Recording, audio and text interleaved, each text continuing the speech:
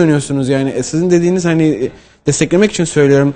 E, Google'ın bu, bu açıdan bir işletim sistemi sunması hatta Apple'ın belki onu da konuşmalıyız. Çünkü Ya, onların da e- otomobil planları var. E, çok önemli herhalde. Bir, yani e, ciddi bir meydan okuma bir yandan mevcut şeylere e, otomotiv şirketlerine ama bir yandan da yollarını açacak bir manevra. Yani şimdi ben şöyle söyleyeyim size e, bizim e, be- yani benim bakış açım e, e, otomotiv şirketleri zaten önümüzdeki dönemde çok önemli bir dönemeçteler.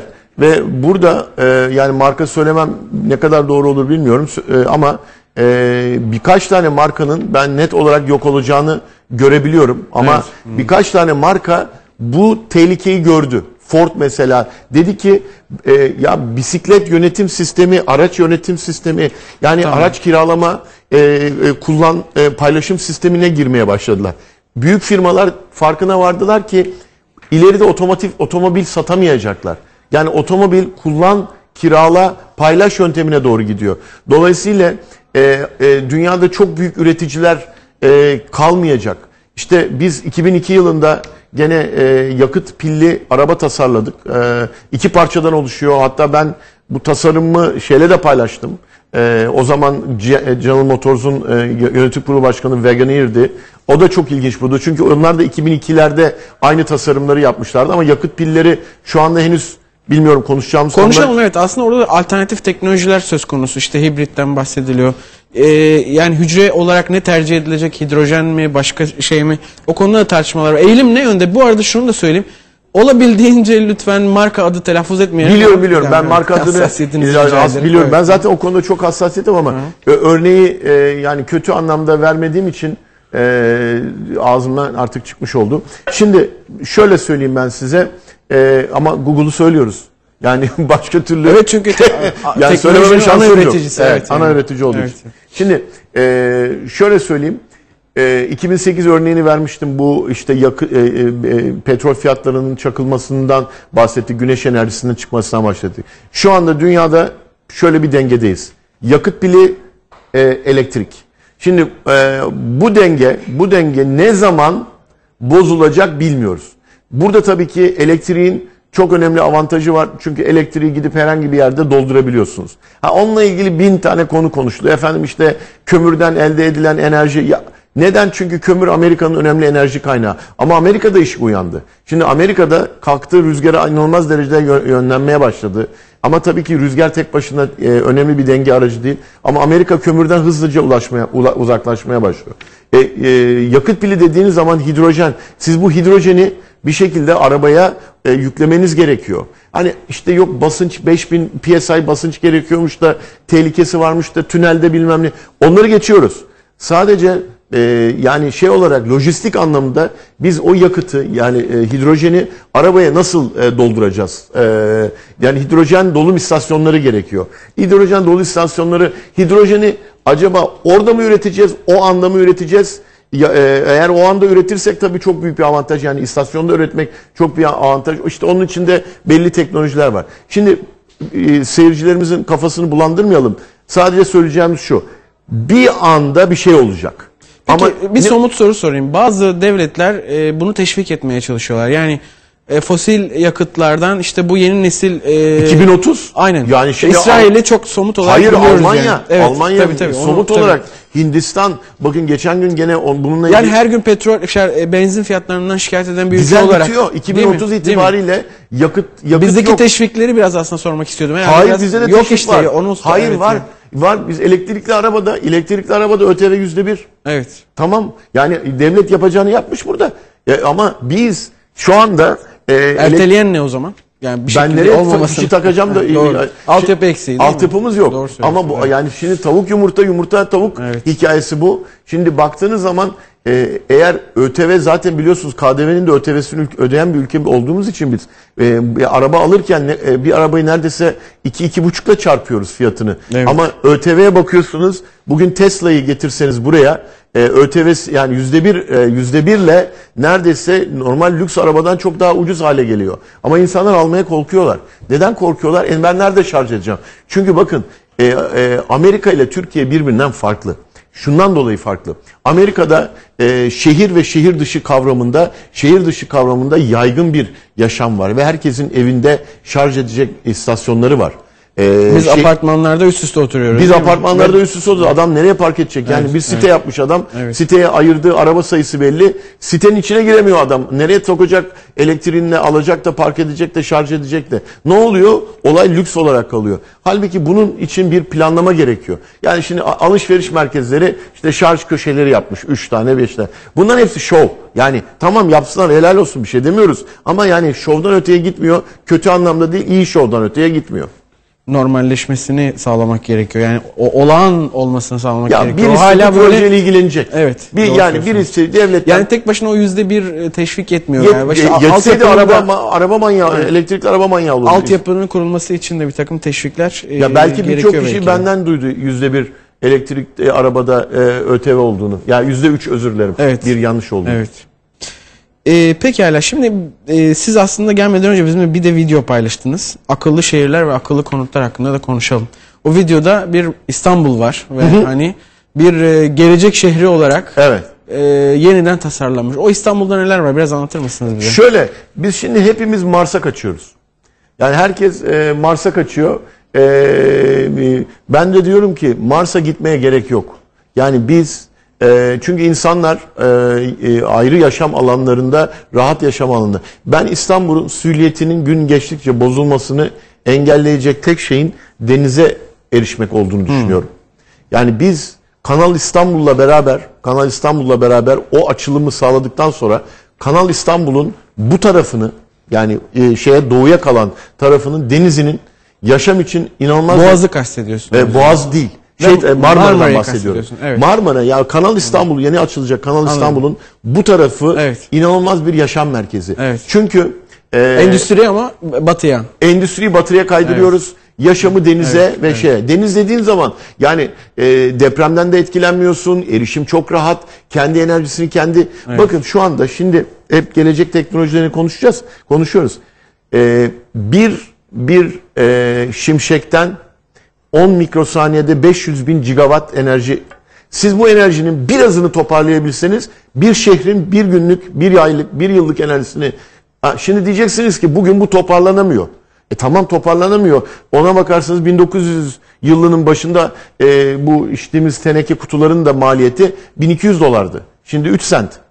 Demek ki bir proses değişikliği olacak. Şimdi demek ki teknolojide de bir erişim, bir gelişim olacak.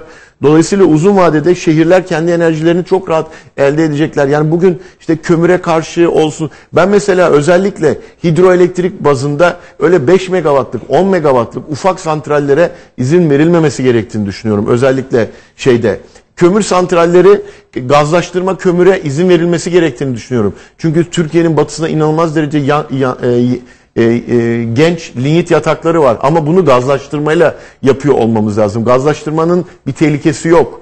E, yani şey olarak çevresel bir tehlikesi yok. En azından doğal kaynak. İthal kömüre karşı ithal kömüre karşı santrallerin yanlış olduğunu ben 8 yıl önce söylüyordum. Şimdi devlet e, net olarak söylemeye başladı. Hayır dedi. Çünkü ithal kömürle ithal kömür santraliyle ithal kömürle santral e, kurmakla doğalgaz ithali arasında hiçbir fark yok. Sadece malzeme değişiyor.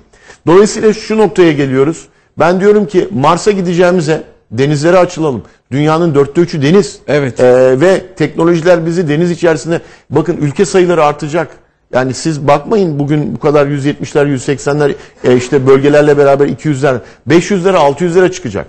O yüzden biz İstanbul'u e, ve yaşam denize kayıyor. Deniz kenarlarına kayıyor.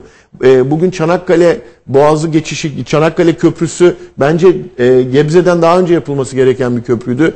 O köprü İstanbul'u hem rahatlatacağı gibi bu bölgeyi yani batı bölgesini canlandıracak. Dolayısıyla Türkiye yavaş yavaş batıya kaymaya başlayacak. Köy olmayacak. Yani uzun vadede e, gene orada göster e, şey gösterip göster yani göstereceksinizdir. E, e, e, tarım Şu anda ekranımızda evet. gösteriliyor. Tarım, e, bakın şu görmüş olduğunuz, orada görmüş olduğunuz dom dediğimiz şeyler, Evet. elektro, yani elekt- e, elektronik, yani o onun arasından e, şey geçmeyecek, e, Bir şey yağmur geçmeyecek, çekti. sıcak geçmeyecek. Evet. Dikey tarım alanları da Dikey var. tarım. Evet. E, bakın dikey tarım geliyor. Çünkü siz Dikey tarımla ancak ve ancak bu bölgelere hizmet verebilirsiniz. Evet. O görmüş olduğunuz deniz şehrinin altında e, e, şeyle ilgili bilgisayar sistemleri, bütün o şehrin elektrik üretimi, e, e, tasarımı, evler çok daha basit hale gelecek. Evler 30 metrekare, 40 metrekarelere düşecek. Kendi kendine e, sistem değişikliğine e, erişmeye başlayacağız. Yani evlerden mutfak kalkıyor. Şimdilik zaten kitchenette dediğimiz ufak mutfakçıklar başladı. Daha da ufalacak. Yani siz siparişinizi e, işte meşhur internet alışveriş sitesine değil e, aşağıya vereceksiniz. Yani çok daha hızlı, çok daha basit sistemler. Bugün 20 dakika telefon ettiğinizde 20 dakikada size sipariş getiren 600-700 tane e, sistem e, içinde malzeme tutan firmalar var. Yani bunlara bakaraktan bir tüme varım çok rahatlıkla yapabilirsiniz ve ben eğer yaşamı denize kaydırabilirsek İstanbul'da Türkiye'nin e, bunda da bir sakınca yok. Yani İstanbul o zaman e, biz e, e, timde göster e, timde gö- e, gösterildiğinde filmde e, tarihi yarımadaya bakıyorsunuz. 2020'lerde 2040'larda tarihi yarımadadan o silüetler ortadan kalkıyor. O tertemiz eski güzelliği ortaya çıkıyor. Çünkü biz doğayı bozmadan denize kaymış oluyoruz ve dünya da denize kayıyor şu anda. Bu arada tasarımda da kubbesel bir yapı tercih edilmiş. O da dikkatimi çekti yani o muhayyel şeyde. O da Evet, o kubbesel e, on- oradan da yağmur yok, rüzgar geçmiyor. Yani bir dü- dünyadan e, şey e, a- e, erişim bence çok hoş oldu. Evet. E, Murat Arman sevgili Murat Arman'la beraber tasarladık. E, yapım şirketiyle beraber çok güzel bir film ortaya çıktı. E şimdi siz e, gelecekten bahsederken bir yandan da Türkiye'nin gündeminde olan altyapı projelerinden bahsettiniz. İşte Körfez Köprüsü'nden bahsettiniz. Ç- e, önümüzdeki yıl başlatılması hedeflenen Çanakkale Köprüsü'nden bahsettiniz. Kanal İstanbul'dan bahsettiniz. Bir de bir de gerçekleşenler var. Malum Marmara işte çok yeni açılan Avrasya e, tüneli gibi işte üçüncü köprü gibi başka birçok hani 2016'da Türkiye ciddi bir altyapı devrimi gerçekleşti diyebiliriz. Yani her ne kadar bazı işte fiyatı şununla bununla ilgili tartışmalar sürse de uzun vadede baktığımızda çok ciddi yatırımlar bunlar. Sizin bu gelecek vizyonun iç- içinde bunlar nerede duruyor siz? Şimdi şöyle e, e, yapılan yani e, projeler başarılı. Şimdi benim tarzım tabii e, ben hani güzel proje hadi alkışlayalım yapmıyorum. Yani oradaki sıkıntıları kendi tweet hesabımdan paylaşıyorum. Evet. Ama şimdi televizyon programında tabii e, olaya şöyle bakmamız gerekiyor. Avrasya Tüneli bence bu projeler içerisinde şu anda en iyisi. Mantık olarak. Ee, Yavuz Sultan Selim Köp- e, Köprüsü erken açıldı. Ee, çevre yolları ve e, istimlak bitmeden e, yapılmaması gerekiyordu. Trafiğe sıkıntılı. Ama bunlar hepsi bakın ama pozitif konuşuyoruz. Ee, ben olsam Çanakkale'yi açardım. Çünkü Çanakkale e, çok önemli bir geçiş noktası ve Çanakkale e, ile be- Çanakkale e, Köprüsü ile beraber hem İstanbul trafiğinde önemli bir rahatlama gerçekleşecek hem de Batı inanılmaz derecede lojistik anlamda, üretim anlamında Türkiye inanılmaz bir gelişim gösterecek. Evet. Ben e, mümkünse e, Çanakkale Köprüsü'nden tren de geçirsinler. E, yani e, erişimi mutlaka trenle yapılması gerektiğini düşünüyorum. Yani trenle bir geçişin, birkaç geçişin Boğaz üzerinden yapılması gerekiyor. Evet şimdi siz kısaca değindiniz şu Mars'a gitme hayalleri yine Elon Musk işin içinde malum. Gerçi siz Mars'a gideceğimizde denizleri kullanalım. Dünyanın çok büyük bir kısmı denizlerden oluşuyor diye alternatif bir yaklaşım da sundunuz ama ya açıkçası bana da hani cazip görünmüyor. Yani tabii ki teknolojik olarak mümkün olabilir ama insanlık için cazip midir? Hep bu geliyor aklıma. Ne dersiniz? Şimdi ama me- şey şey mi Mars'ı mı? Mars'a gitmek evet, eyvallah ben de yani. denizden bahsediyorum. Hayır hayır, hayır tersini söylüyorum ben. E, Mars bana cazip gözükmüyor. Neden gözükmüyor? Bugün Mars'a gidip Ha şunu da hatırlatayım bu arada. Asgardia diye işte dünya yörüngesinde bir ülke kurulması bile konuşuluyor. Bu tür şeylere bakış açınız nedir yani? İşte ama bu nedir biliyor musunuz? Vergiden kaçınma. Evet. Yani şimdi deminki ilk söyleme biraz hızlı döneyim tekrar oradan taşıyacağım. Şimdi şimdi devletler yaşlanıyor. Çalışan nüfusa e, karşı toplanan vergiler azalmaya başlıyor. SGK bizdeki SGK veya sosyal sigorta e, primleriyle beraber devletler bunları kaldıramaz hale gelecekler. Ne yapacaklar? Vergi arttıracaklar. E şimdi vergi arttırdıkça biz alışığız. Bizde e, şey indirekt vergiler yüzde 75 biz alışık olduğumuz için biz orada efsunluyuz ama yabancı ülkeler alışık değil. Şimdi bunların vergileri artmaya başlayacak. E, arttıkça bunlar diyecekler ki ben kaçacağım. E nereye kaçacak? Adam Mars'a kaçacak hali yok. Çünkü ben bugüne kadar Mars'a gidip dönmüş de oh be abi Mars çok güzel vallahi biz çoluk çocuk taşınacağız diyen görmedim. Yani komplikasyonlarını bilmiyoruz. Evet. Yani aldığınız orada bir e, kütle var oraya gidiyorsunuz. Yani ben Ha, dünyanın bir e, dengi değil ki yani hani imkan Ha, kaynakları eyvallah. bakımından. Evet, Şimdi evet. ben de diyorum ki bakın konuyu açtınız. Dünyanın dengi ülkeler çok e, dengi gezegenler var.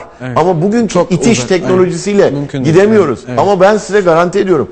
Ve Elon Musk'ın şundan e, Elon Musk'la e, şöyle bir şey var. Elon Musk hayal ediyor. Hayalini hemen gerçekleştirdiği için ben hayal ediyorum. Hayalimi hemen gerçekleştiremediğim için sürekli daha ilerisini hayal etmeye başlıyorum. Şimdi Elon Musk hayal etmiş adam gerçekleştiriyor. Ben diyorum ki tamam abi biz Mars'a gidemeyeceğiz aslında. Bari Mars'a gitmeyelim çünkü yeni itiş teknolojileri çıkacak. Bu çıkacak itiş teknolojilerle beraber ben Mars'tan çok daha ileri Centauri e, şeyine gidelim. 13 e, milyon ışık yılı. Şimdi 13 milyon ışık yılı ötede bir yerden bahsediyoruz. Yani e, dolayısıyla bizim yani e, oralara gidiyor olmamız biraz zor. Yani şu andaki gidiş e, pardon 13 milyon diyorum 13 ışık yılı. E, e, yani ışık hızıyla gittiğimiz zaman 13 yılda gideceğiz. Abi daha ışık hızına ulaşamadık yani. Ama ışık hızına ulaştığımızı düşünün. Yani e, e, ışık hızına ulaştığımızı, warp hızına yani ışık hızının 8 katına ulaştığımızı düşünün. E, onu ittirecek işte iyon iticiler. NASA mesela iyon itici üzerine çalışıyor. Avustralyalı bir adam iyon itici yaptım diyor. Tamam göstermedi daha henüz ama e şimdi iyon iticiyle hızlar artmaya başladı. E, büyük katlamalı artmaya başladı. Dolayısıyla ben diyorum ki 2050'ye kadar bu Mars hikayeleri gerçekleşip de Mars'ta böyle hani Ay'la Mars çok benziyor. Ay'a koloni kuracaktık. Ne oldu? Olmadı. Çünkü neden? Aptallık yani. Şimdi Ay'a gidip helyum 3 diye bir e, radyasyonu olmayan e, bir malzeme çıkarmaya çalışıyor. Hindistan falan da gidiyor. Çin de gitmek istiyor. Ondan sonra biz hala ne olduğunu algılamaya çalışıyoruz. Helyum 3 çok önemli bir e, şey, e, etken madde. Yani biz o maddelere erişebilirsek, uzaysal maddelere İnanın itiş teknolojileriyle beraber belki çok daha yaşamı olan gezegenlere gideceğiz. Ama ben Mars konusunda çok istekli değilim açıkçası. Ben denizde yaşamayı tercih ederim.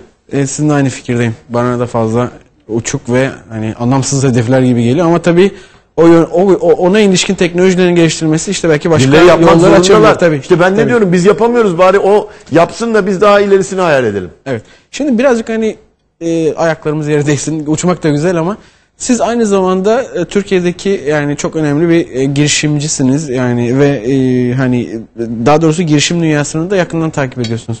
Nasıl görüyorsunuz Türkiye'deki işte bu inovasyon ve girişim kültürünü? Olgunlaşıyor mu? Yeni Ya kuşakları nasıl görüyorsunuz mesela? Şimdi en azından e, Sayın Cumhurbaşkanı da bu timde açılış konuşmasına siyasette de inovasyondan bahsetti. bu arada son bir buçuk dakikamız. Süper. E, o zaman hemen toparlayalım. E, ben inovasyonun e, artık terminolojik olarak söylendiğini görüyorum. Evet. Tamam mı? Şimdi bundan sonra sıra yapmakta. Yani ama yapma konusunda hızlı mıyız? Değiliz. Bunun için bilgi gerekiyor. E, bi- e, bilgili olanlar insanlardan da faydalanmak gerekiyor. Bakın ben timde danışmanım, girişimcilik ve e, İHKİP'te danışmanım. Ama e, benim gibi insanlardan daha çok yararlanılması gerekiyor. E, bunu da açık ve net olarak söylüyorum ama e, çünkü bizler taşıyacağız. Yani bizler siyasi insanlar değiliz sonuçta. E, dolayısıyla daha çok bilgiye sahip bir toplumu yaratmamız gerekiyor ve onları onlarla beraber el ele bu toplum büyür. Şu anda da tam zamanı çünkü 15 Temmuz sonrası do- e, çok büyük bir kan kaybı var. Bu kan kaybını ancak bizlerle tamamlayabiliriz. E, bir an evvel özellikle TÜBİTAK'ın elden geçmesi gerekiyor. Yani e, hani ne yapacağız dedik yani 10 bir buçuk dakikada çok kısa TÜBİTAK bizim için en önemli yer TÜBİTAK. Çünkü e, en büyük kaynak e, israfı ve kaybı orada yapılmış. Oranın kontrol altına alınması gerekiyor. Ve şu anda da çok fazla e, bir çalışma yapıldığını açıkçası görmüyorum. İnşallah e, kısa zamanda e, o inovasyonu ve inovasyon kültürünü taşıyacak kurumları ayağa kaldırırız. E, şu anda o kurumların ayağa kalkması gerekiyor şeyden önce. Evet Alper Manas gerçekten güzel ve verimli ufuk açıcı bir sohbet oldu. E, bugün tamamlıyoruz. E, hafta başında pazartesi günü aynı saatte görüşmek üzere.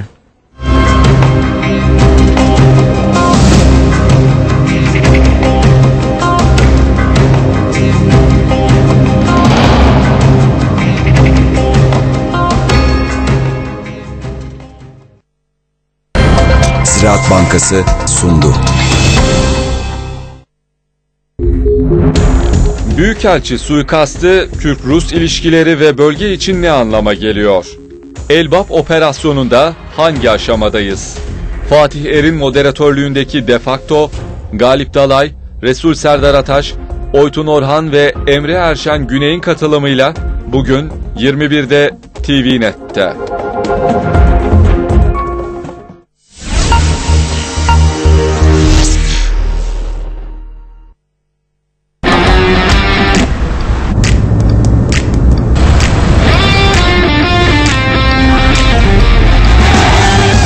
Volkswagen 5. kez yılın en sevilen otomobil markası oldu. Gelin Volkswagen ailesi olarak bunu birlikte kutlayalım. Yıl sonu fırsatları Volkswagen yetkili satıcılarında sizi bekliyor. Volkswagen.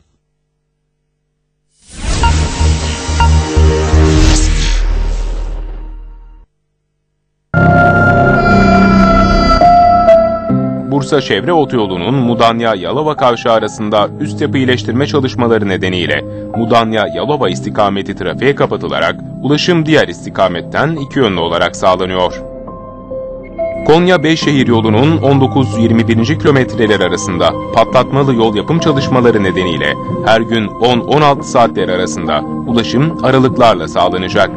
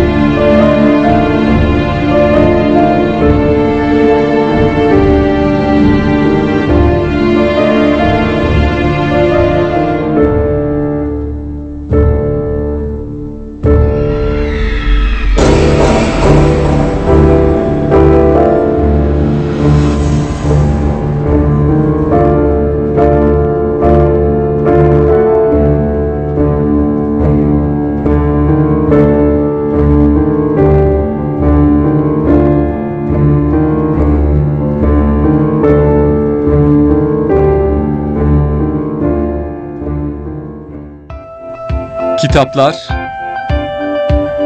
anılar, yazarlar, kütüphaneler,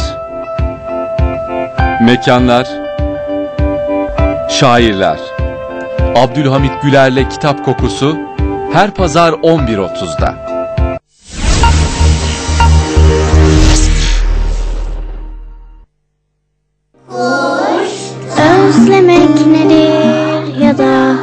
uzaklara nasıl gidilir? Beklemek nedir ya da hasret nasıl çizilir? Bir kahraman nasıl mutlu edilir? Aa, ne güzel. Ücretsiz tebrik kartlarınızı şubelerimizden almayı unutmayınız. Aa,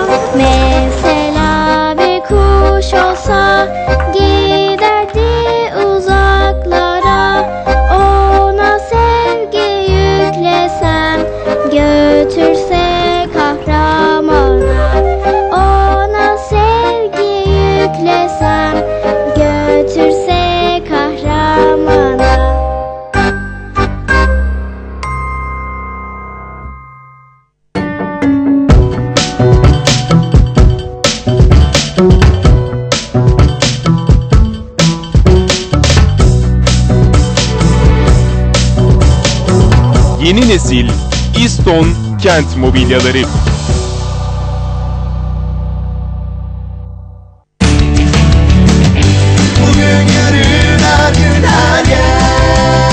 Blue Lake sizlere küçük çekmecede masmavi bir yaşam sunuyor. 60 ay vade, 0 faiz, %25 peşinat fırsatıyla. Blue Lake, metal yapı konut güvencesiyle.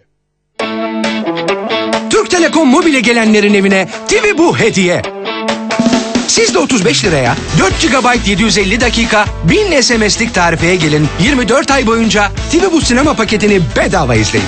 En sevdiğiniz filmlere, belgesellere ve çocuk kanallarına ücretsiz sahip olmak için Türk Telekom Mobil sizi bekliyor. Kaçırmayın.